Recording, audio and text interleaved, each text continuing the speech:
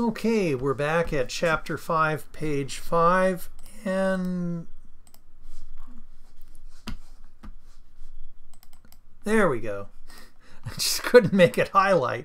That problem is what we want to draw your attention to. Okay, now the first set of ones is kind of obvious that we should circle them. And you can't go diagonally on your circling, so that's not just horizontally and vertically. So that's the biggest we can make the circle. Now let's see what's happening. Not A, A. A changes, but B stays the same. What about over here? Not C, C. Ah, okay, that changes. That's gone, but D stays the same. Draw a little line to the circle and put the solution down. Why do we do that? To avoid confusion and this is um, and because this is online I can't make you do it but if you were physically in class I'd be asking you to write it down really pushing hard.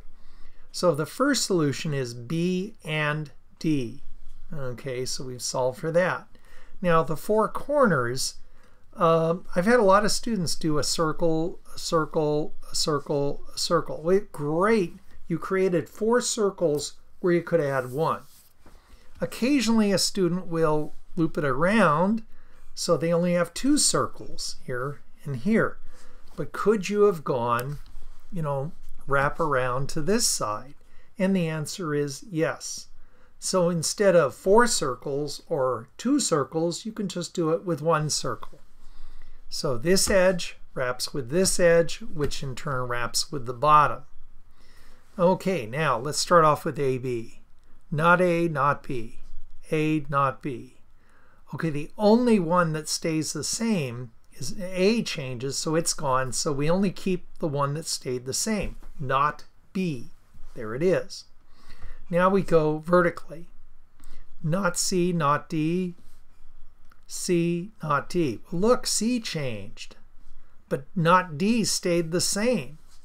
So not B, not D. So that is the solution for that circle. Now some of you are going, well here's the BD and here's a BD. Can't we simplify? Unfortunately no, because this B is regular and D is regular, but here it's not B and not D. They're two very different. You can't extract this out and then simplify. So this solution of B and D or not B and not D is the simplest solution possible. Okay. And just a reminder, when we make circles, don't draw in the diagonal direction. Not allowed. Okay, so let's look at this particular problem here. Okay, this particular problem, sometimes students get stumped. Occasionally they'll circle maybe four of them, like right here, 1, 5, 3, 7. And then the go, here's 2 over here. I got a circle.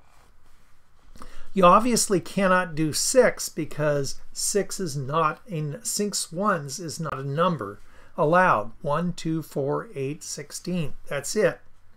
And in this case, 6 is not allowed. But you can put a circle here and you can put a circle here. The fact that these two ones have overlapping circles doesn't matter. In fact, the world is a wonderful place because they are. So as you can see, we have the first circle, we have the second circle. So let's look at the first one. Not A, not B. Not A, B. Well, not A stays the same, B changes, it's gone. Not C, D, C, D. C changes, but D stays the same. So uh, C is gone, D stays the same. That's our answer. Okay, what about here?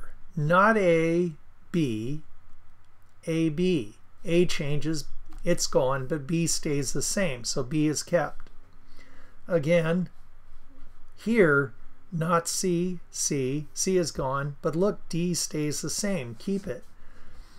So basically this is not A and D or BD. And that's how we would write the equation. So you'll have to kind of, like I said, it's, it's going to be quite a bit, of practice to uh, and all I'm saying here is just remember rule five. People forget it all the time.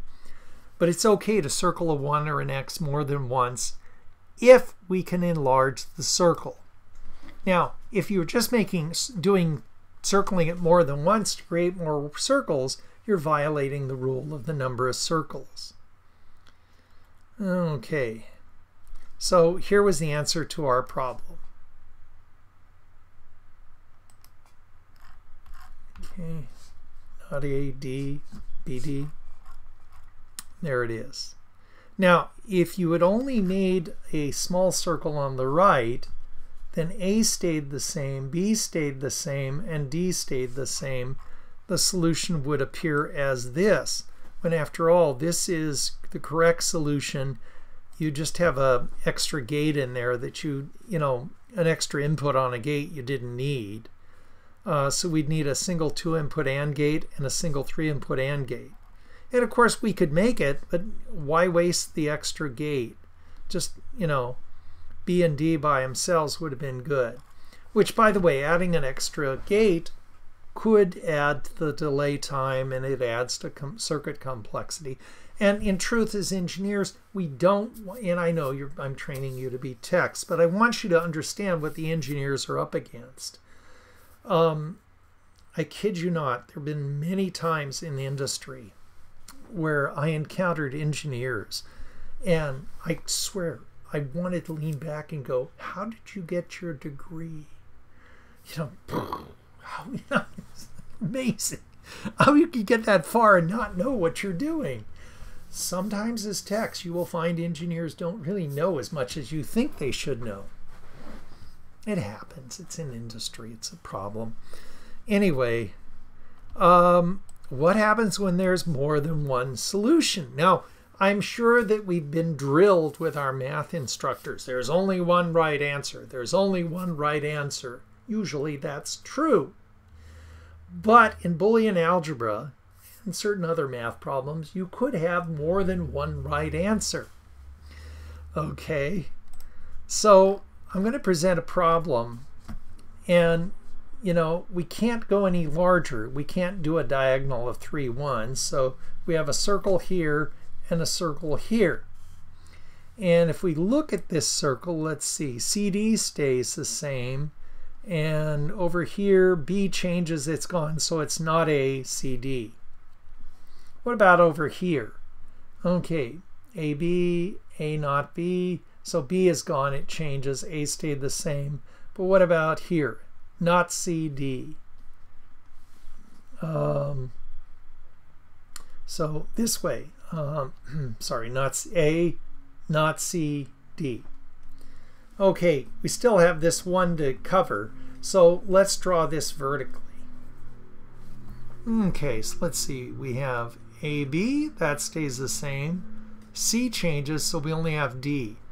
So this is um, not A and CD, or ABD, or A not C, D. It's a solution, it's a correct answer. But look at this vertical one. Couldn't I have done a horizontal one and gotten the same one covered? And the answer is yes, I could have. So you're going to say, well, which is the correct answer? The top or the bottom? And the answer is both are correct. In this particular instance, the digital logic leaves us with two possible answers. Both are correct. Now, I put this guy and this guy first, and then the change is shown at the back end. So you're going to go, so which is the best answer? Well, maybe neither. Maybe they're both equal. So there are times that you have more than one correct answer. And if you can't really find a good reason to pick one over the other, toss a coin. It doesn't matter as long as the logic is decoded and you got it. Okay, now at this point, uh, this becomes week seven, and the next set of lectures was intended for week eight. Now I haven't recorded it yet, but I'm going to do, I'm going to set up a camera on a copy stand and I'm going to actually go through solving a bunch of problems and discussing it with you. So uh, you're going to see week seven is going to, in, in addition to the, uh, you know, A, B, and this is the C that's being recorded right now, you're going to start seeing week seven, D, possibly E, who knows. So I'm going to have some additional videos there. What follows is going to be on page 7 to page 10. Uh, I'm going to talk about exclusive OR. Now, because it's very straightforward, I may do it as a single video. Um, but I will do that video first because I'm already set up and afterwards I just finished. So you will see more videos talking about K-maps here. So with that, I think I've covered enough and wish you a good day. Stay safe, stay well, and that's it.